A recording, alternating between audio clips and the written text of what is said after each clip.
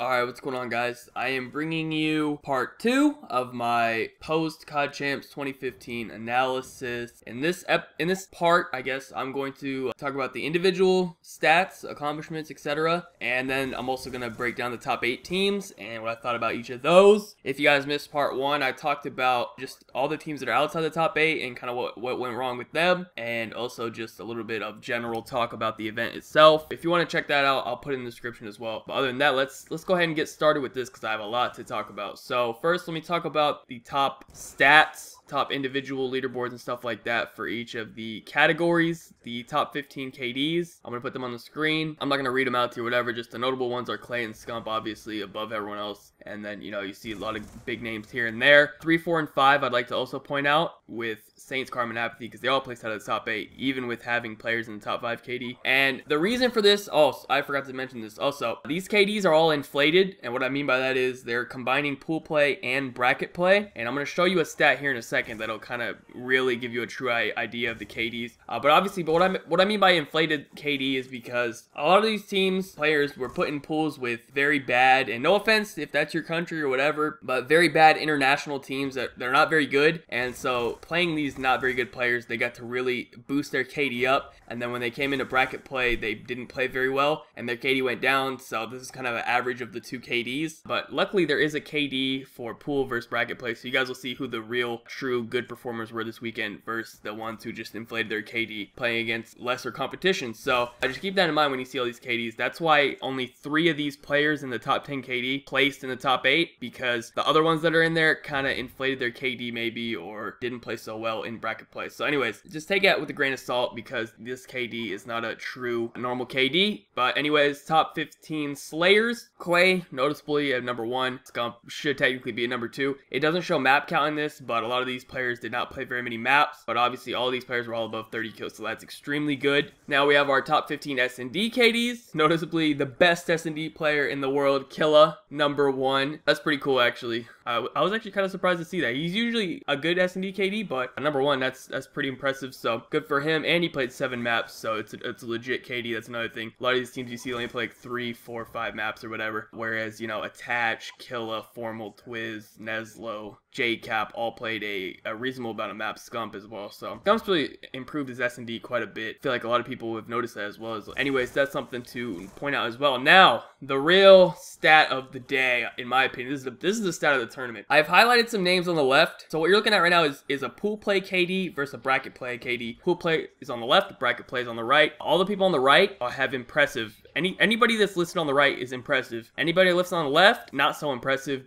For example, I'll give you an example. Zuma, if you look at his pool play KD, 1.41, and if you look at the right, he's nowhere on the right. He actually had a negative bracket play KD. Basically, you could look at the overall KDs of Envy, like I showed in the last video, I didn't realize this, and you think, damn, Zuma actually had a really good event, but realistically, he went from having the second highest KD to having a negative KD when he actually played against good competition. I'm not, I'm not trying to rip him. I'm not, I'm not roasting or anything. I'm just pointing out some stats. So that's what I mean by some of the KDs are infl inflated. So anyways, I outlined all the people on the left who had a really high pool play KD and then were not even in the top, you know, whatever 20 or so for bracket play KD and most likely had a negative bracket play KD. I just want to point that out. So the, it's Vicento, Nagafen, Classic, Nadeshot, and Replays. So just pointing that out. Take that information how you want to take that. You guys can kind of see some of the comparisons. Most notably, I want to say Scump and Clay had extremely good bracket play and pool play KD, so that's something to point out for there as well. And I also want to point out Aqua, he didn't even have a good pool play KD, but he had a really high bracket play KD, which means, you know, when, when game time, when it came down to it, and the matches that really mattered, Aqua showed up, so I want to go ahead and give him some props for that. Proof he had a really good event as well, one of the highest bracket play KDs. So anyways, anyone that is really high up there on the right, they had a really good event, and anyone that's high up there on the left, I mean, great, but those matches didn't really matter. Just want to point that in there. I feel like that's a really useful statistic to really get an idea of who actually played well and who didn't. Now, let us talk about the top eight teams. I'm going to just blow through uh, some of these teams because I don't really have too much to say about them. TK, they placed eighth. I mean, they did all right. Better than last year. They choked last year. At least I got some money this year. The dynamic of TK, I always get the vibe from them that they're not really a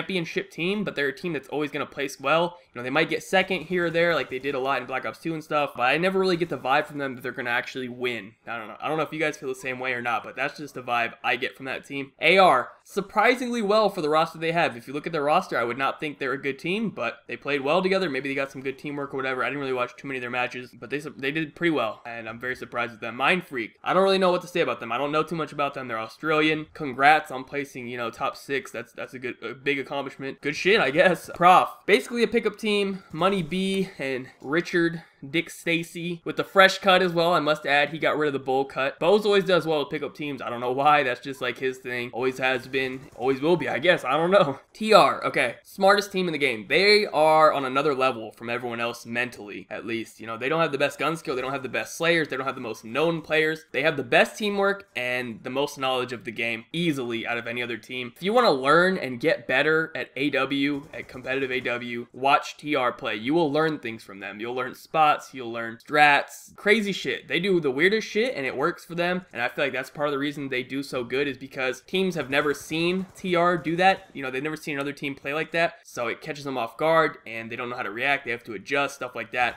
And that's the reason that TR is such a good team. They, they play the game very. If, if I could equate it somewhere, it'd be kind of like Fizzurp. You know how Fizzurp does like the weirdest shit? TR is a team full of Fizzurps. All four of them just do weird shit, and it works really well for them. So if you want to learn stuff, I definitely recommend watching them play. Now, FaZe Red. I don't know what's going on with this team. I don't know if they're gonna break up or what. I, I don't know when the next roster changes are going to go down. It's going to be after season two or whatever. I know they probably already have their rosters set for that. Yeah, I think they do. They already started playing league matches, I'm pretty sure. So I feel like this team's going to break up. I don't know. Not really sure what direction this team's headed in, but they are a really good team when they do focus up and everything like that. And they do have the possibility of winning events, but you know, we'll just have to see. They argue quite a bit. Definitely isn't a long term team if you just look at the personalities on this team. Not a long term team, but they are really, really good when they when they put their mind to it. They have the opportunity to go to any event and win. They're, they're one of the teams that you're like, yep, they could win this event. Also, I kind of feel like FaZe Red could have beat Denial. The thing about FaZe Red is they lost both of their, their matches to TR. They lost to them in winners bracket and they lost to TR in losers bracket. So we never they never lost anyone else. So, you know, maybe they could have beat Denial. I don't know. They just didn't match up well with TR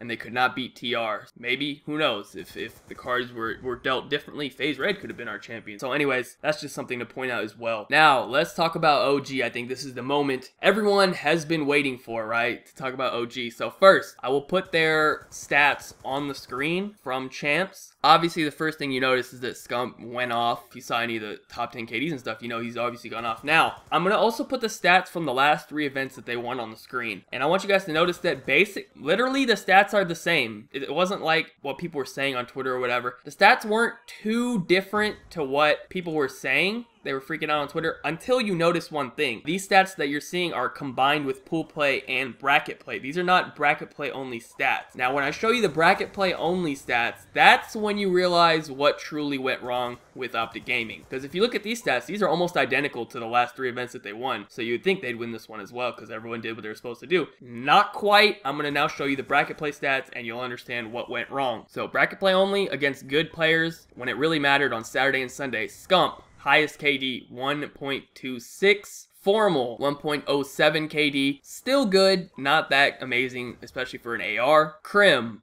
0.99. Can't I can't remember the last time Crims had a negative KD on LAN. Let's be real for that. And Nadeshot 0.85 KD on bracket play. So now when you look at those stats, you see that Scump still did his thing, what he's been doing the last three events, but you see that Formal, Crim, and Nade, all three of them did not play up to the standards that they have played the last three events. Now the reason I'm comparing it this way is because, you know, the last three events they won, they weren't playing against random foreign teams. They were only playing against good competition, so I'm, I'm comparing it that way, and you get a true understanding of what's kind of going down. Now, another stat I want to bring in there as well is their hardpoint stats. They went 5 and 3 in hardpoint over the course of the weekend, and that's not something you expect from this team. This is usually one of the better hardpoint teams. You know, at regionals, they only lost one hardpoint, and it was to FaZe Red. So to lose three, I mean, that's that's not very good. You know, 5 and 3, that's not a record you expect from such a, a dominant slaying team. So I'm going to put up the hard point only stats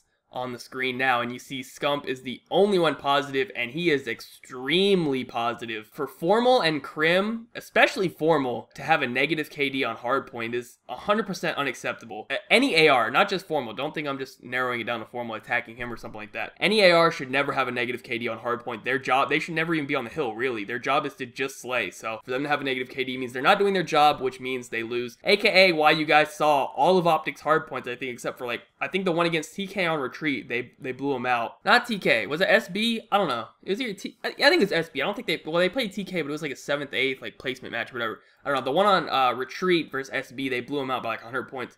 Uh, but I remember the one against BZ came down to like the last five seconds. Scump got like an eight piece to win them the game. And obviously they lost three of them, and you know they only won five, and then you know only one of them was a blowout, I think. Anyways, basically, they played shitty in hardpoint all weekend long, and that's another point I'd like to bring up because with this Optic team, they really, in my opinion, rely on momentum quite a bit, and hardpoint is always the first series on every map, and, well, the first map in every series, I flip that around, and for them to, to lose quite a bit of them and not play so well on hardpoint, I think that really affected them this weekend as well. I know they lost that first hardpoint to Denial when they got 3-1, so, I mean, overall, I think this probably played quite a bit of a role in their, in their success this weekend, and why they didn't really have that much success, so I wanted to throw that in there. Now, overall, just an eye test for me. Now, let's no more talking about statistics or whatever. Just an eye test of me watching them and seeing what was going on. In my opinion, Scump did his thing. He was very consistent. Almost every single map he was positive, and he was quite positive, and he was dropping numbers. He was doing his thing. The stats don't lie. He, he did what he needed to do. Formal did not have his best event. Crim did not have his best event, and Nade did not have his best event. Whole Nade using the HBR thing, I think he only used it in respawn one time. He, he tweeted and said it was an accident or whatever bullshit. I don't know, whatever. He is under the pressure that he wants to use it in S&D, and I know first-hand experience from Black Ops 2. I literally argued with him about it on Twitter. He's not to change his mind. Crim has told him not to use the HBR. If he ain't to listen to Crim, he definitely ain't to listen to anyone else. So he's to continue using it. If you don't like it, I mean, I don't know what to tell you, man. He's to use it. He has it convinced in his mind that it's good to use, and he is not to change his mind for anyone. I mean, if, if literally the smartest player in Call of Duty is telling you not to do something and you refuse to believe him, I mean, who the fuck are you gonna believe? You know what I mean? At that point, it's just on him. Whether or not it's effective or not, I don't know. I've never fucking played on LAN, but if he's the only one out of, you know, hundreds of players using it, probably isn't a good idea. That's just the way I look at it. I know a lot of people were giving him shit about using the HBR. That's my take on it. I mean, if Crim tells me to do something, I'm fucking listening. He's much smarter player than I am. That's the, that's the way I look at it. Anyways, moving on from that, basically, this is what happened. If you guys look at the last three events, Denial, they played Denial in the finals, right, of the last two events. The first time, they, they shit on them. 3-0, destroyed Denial. The second time, they 3-0 Denial again, but all three maps were pretty close. It came down to, you know, the last minute, I think, on every single map, and the search and destroy was close. So you could see the progression from Denial. The Denial was getting better.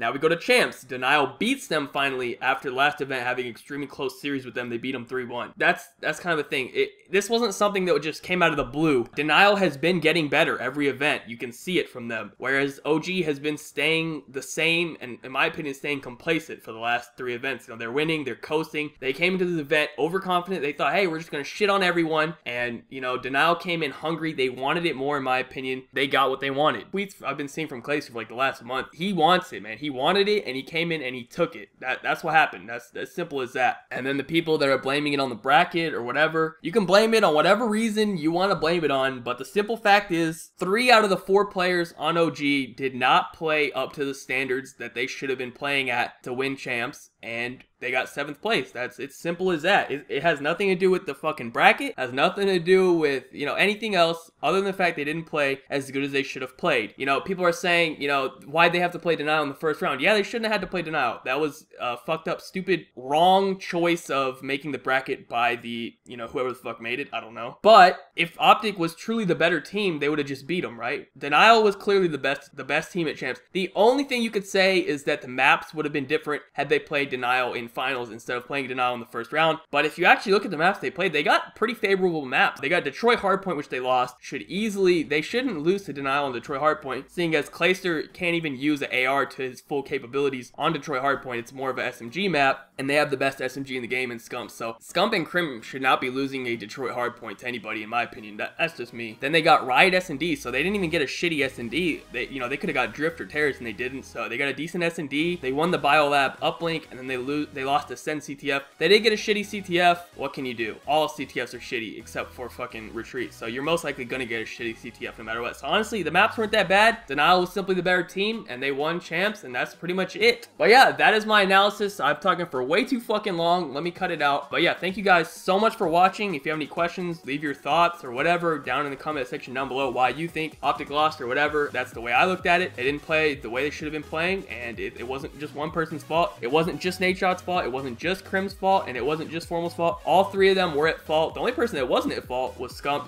He played amazing. He's been playing amazing all of AW. Kind of weird how that works out, man. For the last two years, Black Ops 2 and Ghost, Scump carried the fuck out of that team. He finally got some good teammates in AW, and you know, they were spreading the load equally, I guess. No homo, that sounded kind of weird. And then the biggest tournament comes around, and once again, Scump carrying the team. Dude just has bad luck, I guess. So anyways, thank you guys so much for watching. Be sure to leave a like rating if you enjoyed. Subscribe if you're not already. Follow me on Twitter. Links in the description down below. Other than that, have a good day, and peace out.